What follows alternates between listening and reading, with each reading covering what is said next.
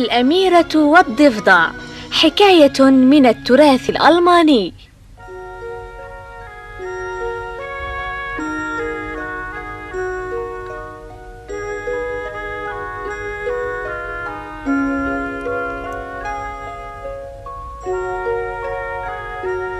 كان يا مكان في قديم الزمان كان هناك ملك يعيش مع ابنته الأميرة الجميلة.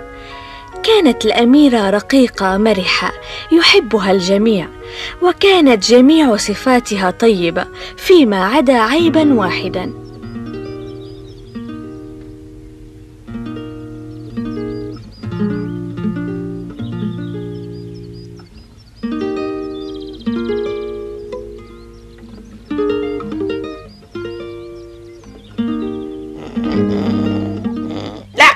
عزفت نغمة خاطئة أيتها الأميرة. ارفعي صوت النغمة. هكذا؟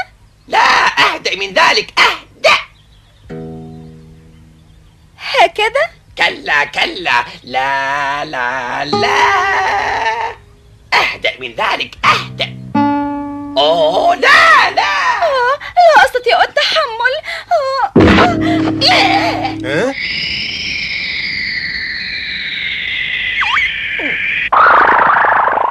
آه، لقد تحطم كانت الأميرة عصبية المزاج وكان هذا هو عيبها الوحيد.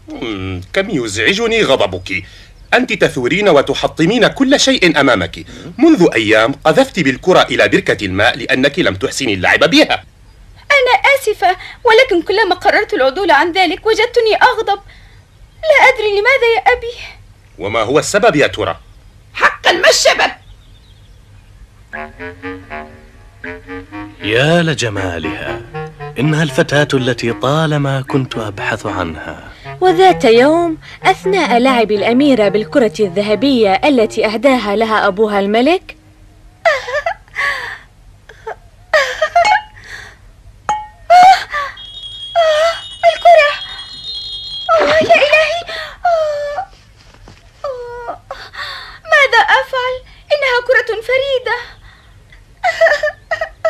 غضبت الأميرة لكنها لم تجد شيئا لتقذفه هذه المرة فأخذت تبكي هل تريدين أن أحضر لك الكرة؟ ها؟ سوف أحضر لك الكرة حالا ماذا؟ هل ستحضرها؟ غير معقول نعم سأحضرها ولكن بشرط أن تعديني بشيء حسنا سأعدك بكل ما تريد نقود مجوهرات أي شيء. ما رأيك؟ أنا لا أريد هذه الأشياء. كل ما أريده هو أن نصبح أصدقاء. توافقين؟ آه هذا أمر سهل للغاية. هيا أحضرها. وهل تسمحين لي بأن أجلس معك على مائدة الطعام وآكل؟ نعم نعم. هيا أسرع بإحضارها. وهل تسمحين لي بالنوم في فراشك؟ أوه إنك تبعث على الملل. هيا أسرع أرجوك. هيا. هذا أمر سهل. أحست الأميرة بيأس شديد وكانت تريد الحصول على الكرة بأي شكل فلم تهتم بالوعد الذي قطعته على نفسها. ومن ذا يهتم بمثل هذا الوعد؟ فكيف للضفدع الذي يحيا بالماء أن يخرج ليعيش مع الناس؟ يا!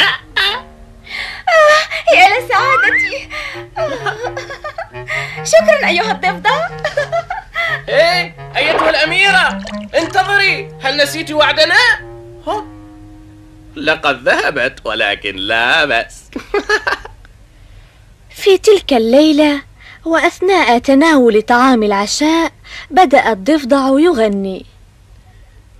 أميرتي حان وقت العشاء.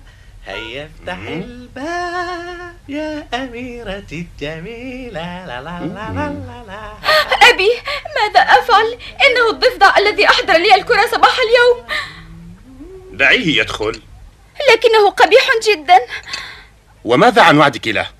أنا لم أقصد ذلك يا أبي وما كنت أتخيل أن يأتي الضفدع ليشاركني الطعام أبدا يا ابنتي العزيزة أراك قد صرت تخلفين وعدك ألم يكفك أنك سريعة الغضب؟ أليس هذا هو الضفدع الذي عاونك في شدتك؟ يجب أن تحافظي على وعدك له حاضر أمرك. كانت تعلم جيدا أن خرق العهد جرم لا يغتفر فشعرت أنه من الخير أن تأذن للضفدع بالدخول. مساء الخير. أسعدت مساء سيدي. شكرا على دعوتكم لي هذا المساء. شكرا. ها؟ أوه لقد بدأتم قبل أن أحضر. هل هذا المقعد لي؟ شكرا. أوبا. لا هذا مقعدي. لا تكوني متحفظة هكذا. اجلسي. ولكن يا أبي. اجلسي يا ابنتي. حسنا. فلنبدأ بالطعام. آه آه. أنا لا أستطيع أن أكل هكذا. يا. أوبا.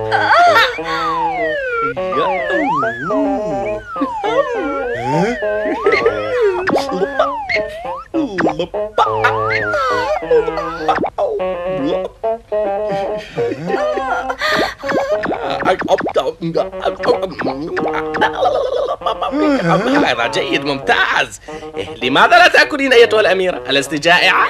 كلا لا أريد آه فهمت تريدين أن أطعمك أنا أليس كذلك؟ ها؟ حسنا.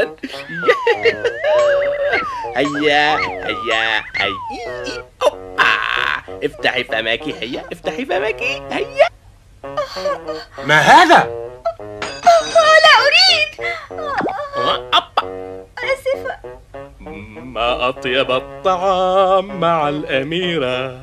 فلقمة صغيرة ولقمة كبيرة. حاولت الأميرة أن تتحمل الضفدع في صبر ولولا وجود والدها لكانت قد أخلفت في وعدها ورمت الضفدع خارج المنزل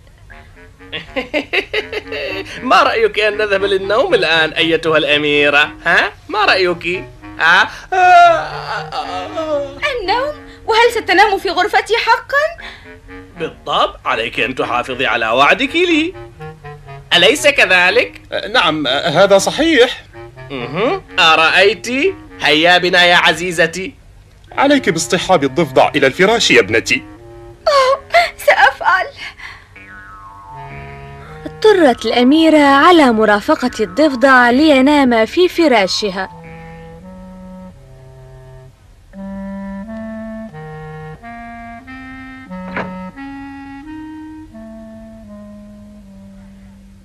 يا له من ضفدع كريه.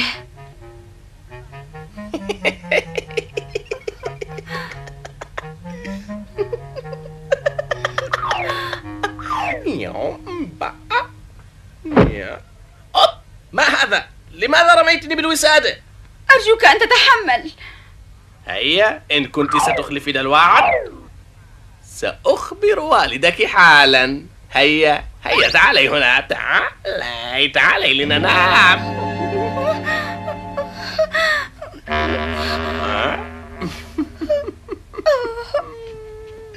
لم تستطع الأميرة أن تتمالك نفسها أكثر من ذلك فثار غضبها كالمعتاد أيها التافه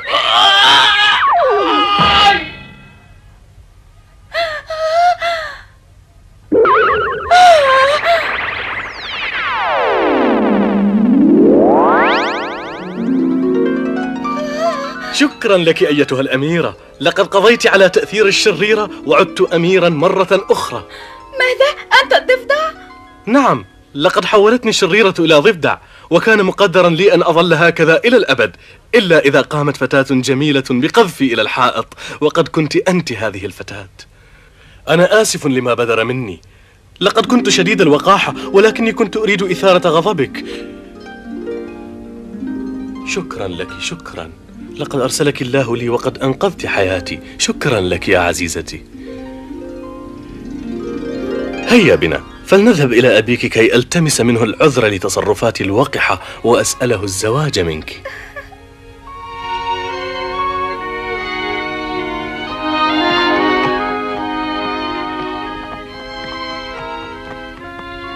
في اليوم التالي تزوج الأمير من الأميرة واتجها إلى بلاده.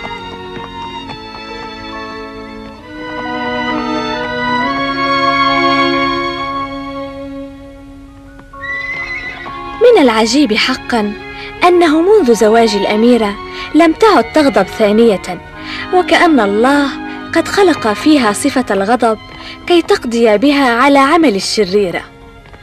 أرجو أن تكون هذه الحكاية قد نالت رضاكم.